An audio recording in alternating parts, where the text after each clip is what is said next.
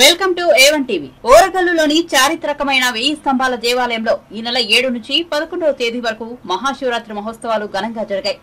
మహాశివరాత్రి సందర్భంగా ఆలయ ప్రధాన అర్చకులు గంగు ఉపేంద్ర శర్మతో గంగు మణికంఠ శర్మ కలిసి మహాశివుడికి అభిషేకాలతో ప్రత్యేక పూజలు నిర్వహించారు. వెయ్యి స్తంభాల ఆలయ ప్రాంగణంలో మహాశివుడిని తలుస్తూ ఓం నమశివాయ అంటూ కొలుస్తూ భక్తులు సందడి చేశారు. సాయంత్రం పార్వతీ పరమేశ్వర కళ్యాణం కన్నుల పండుగగా జరిగింది. ఆలయ అధికారులు మహాశివరాత్రి మహోత్సవాలలో భక్తుల సౌకర్యార్థం అన్ని ఏర్పాట్లు పూర్తి చేశారు. పోలీసు అధికారులు భక్తులకు ఎలాంటి ఇబ్బందులు కలగకుండా భారీ బందోబస్తు ఏర్పాటు చేశారు. మహారుద్రుడికి చేసిన అభిషేకం పూజలు పండ్లు ప్రసాదాల గురించి ఆలయ అర్చకులు గంగు ఉపేంద్ర శర్మ గంగు మణికంఠ శర్మలు వివరించారు. చూసేటటువంటి భక్తజనులకు ఈరోజు కన్నుల పండుగ మహాశివరాత్రి బ్రహ్మోత్సవాలు మన చారిత్రాత్మకమైన వైస్తంభాల దేవాలయంలో జరుగుతున్నాయి. నాడు కాకతీయుల నుంచి నేటి వరకు కూడా ఐదు రోజుల పాటు బ్రహ్మోత్సవాలు చేయడం అనేది ఇక్కడ ఆనవాయితీగా వస్తున్నది. దానికి అనుకూలంగానే ముందుగా నిన్నటి గురువారం రోజు చండీ హవనము అలాగే రేపటి రోజున మనకు శనివారం రోజు కూడా కార్యక్రమాలు ఆదివారం సోమవారం ఐదు రోజుల పాటు కార్యక్రమాలు జరుగుతాయి. అయితే ఈసారి శుక్రవారంతో కూడుకున్నటువంటి మహాశివరాత్రి. శుక్రవారం అంటే అమ్మవారికి చాలా ప్రీతి. దాంతోపాటు శివునికి ఉమామహేశ్వరుడు రుద్రేశ్వరి రుద్రేశ్వరుడు అమ్మవారితో కలుపుకొని పిలిస్తేనే శివునికి ఇష్టం అనేది మనకు శివపురాణం చెప్తున్నది దానికి అనుకూలంగానే శుక్రవారం మహాశివరాత్రి చాలా విశేషదాయకం. కాబట్టి ప్రాతకాలంలోనే నాలుగు గంటలకు గణపతి పూజ సుప్రభాతము తదనంతరము స్వామివారికి అఘోర పాశుపతంతో అభిషేకించడం జరిగింది. అలాగే అప్ దాదాపు పొద్దున ఐదు గంటల నుంచి మొదలుపెట్టి ఇప్పటి వరకు కూడా సుమారు ఒక అరవై వేల మందికి సామూహికంగా పుణ్య దంపతులకు అభిషేకం నిర్వహించారు. ఈ దంపతులను పదకొండు గంటల వరకు రాత్రి పదకొండు గంటల వరకు కూడా అభిషేకాలు నడుస్తుంటాయి. అయితే శివరాత్రి రోజు శివ కళ్యాణం అనేది మన దగ్గర ఉన్న శ్రీశైలంలో చేయడమే జరుగుతుంది.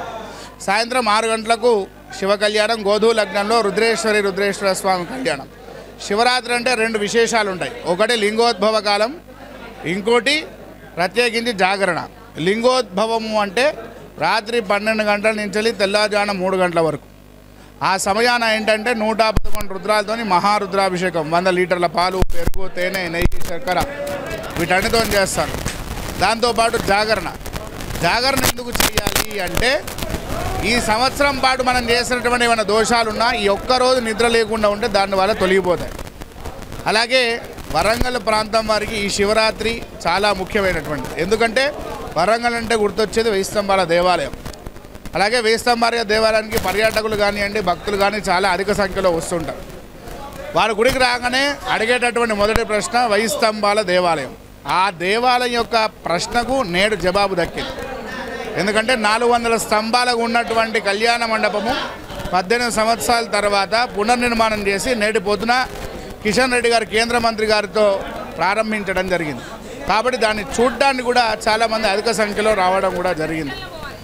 అలాగే ఒకటే రోజు శివరాత్రి రోజు శివుని పూజ చేయడమే ఎంతో పుణ్యం అయితే ప్రాతకాలంలో కళ్యాణ మండపంలో శాంతి కళ్యాణం సాయంకాలంలో విశ్వశాంతికి మళ్ళీ కళ్యాణం రుద్రేశ్వరి రుద్రేశ్వర రెండు కళ్యాణాలు చేయడం చాలా అరుదు. కందగడ్డ కాదు ముఖ్యంగా ఐదు ఈ రోజు ప్రారంభమవుతాయి. ఒకటి కందగడ్డ ఇంకోటి మోదుగ పువ్వు. దీంతో పాటు ఉమ్మెంతాకు తర్వాత ఉత్తరేణి తర్వాత గరికె. ఇవన్నీ మనకి ఎప్పుడు దొరికినా కానీ శివరాత్రి రోజు ఇవి ఖచ్చితంగా పెడతారు. ఎందుకంటే పూర్వము రంగులు అనే ఆడేవాళ్ళు ఏదున్నా కానీ మోదుగు పువ్వుతో వచ్చినటువంటి రంగులతోనే ఆడేవారు. మోదుగు పువ్వు వేడి అనేది తీసేస్తున్నది. ఈ శివరాత్రి నుంచే ఎండాకాలం అనేది కూడా ప్రారంభమవుతుంది. కాబట్టి మోదుగు పువ్వుతోని స్వామివారికి పూజ చేస్తే చల్లగా చూస్తాడని దాంతోపాటు మీరు అన్నట్టుగా కందగడ్డ. ఏ గడ్డనైనా ఉడికిస్తే ఏమవుతుంది అంటే అది మనం తినేటట్టుగానే ఉంటుంది. కానీ ఈ కందగడ్డ ఎలా ఉంటుందంటే చిన్నపిల్లని తినిపించిన ఉగ్గులాగా మారిపోతుంది. స్వామివారికి నైవేద్యం పెట్టాలి అంటే అది ఉగ్గులాగా ఉండాలి. అందుకనే బెల్లపన్నము కందగడ్డ పెట్టడం ఆనవాయితీ. కాకపోతే ఏంటంటే మనం ఏ గడ్డ తిన్నా కానీ అది ఉపవాస దీక్ష కిందికి రాదు. కేవలం కందగడ్డ ఒకటే తింటే మాత్రమే ఉపవాస దీక్ష కిందికి వస్తుంది.